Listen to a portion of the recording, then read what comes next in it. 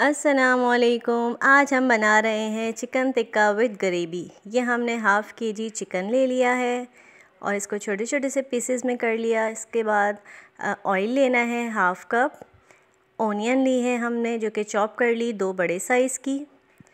कुछ मसाले हैं जिसमें नमक है हल्दी पिसा हुआ धनिया एक चम्मच और सारे मसाले एक एक चम्मच जाएँगे। ये पिसी हुई लाल मिर्च, ये भी एक चम्मच के करीब ली है। और कुटी हुई लाल मिर्च, ये भी एक चम्मच। गरम मसाला पिसा हुआ चाट मसाला और ज़ीरा पाउडर और अदरक लहसुन का पाउडर, ये भी हमारे सारे मसाले एक एक चम्मच ही जाएँगे।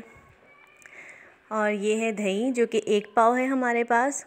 अब हम चलते हैं तैयारी की तरफ़। तो ये है पैन हमारा और इसमें हम ऑयल डाल चुके हैं और इसको ऑयल को थोड़ा सा गर्म होने देंगे। इसके साथ ही हम प्याज डाल देंगे और प्याज को हम करेंगे लाइट ब्राउन जब तक प्याज हमारी ब्राउन लाइट ब्राउन ना हो जाए, उसके बाद ही आप चिकन ऐड करिएगा. और फिर इसको हमने करना है फ्राई सारे मसालों को हमने फ्राई करना है, उसके बाद हमने ग्रेवी बनानी है. ये बहुत मज़े की डिश बनती है, आप भी ज़रूर ट्राई करिएगा. बहुत अच्छा टेस्ट इसका आता है. हमारी प्याज तकरीबन गोल्डन ब्राउन हो चुकी है। ये इस तरह आपको नज़र आ रही है। अब इसमें हम डाल देंगे चिकन और चिकन जो है हमने फ्राई करना है।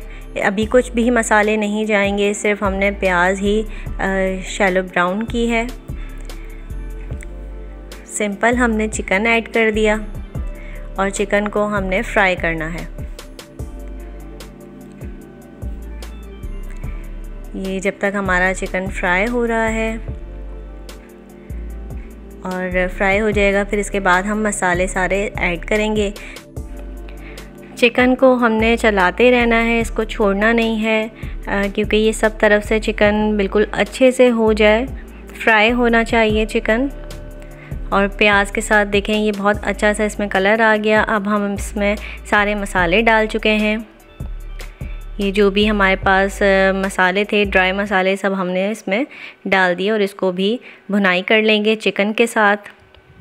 चिकन के साथ ही सारी चीज़ें डालनी है क्योंकि इसका जो फ्लेवर है वो चिकन में आना चाहिए।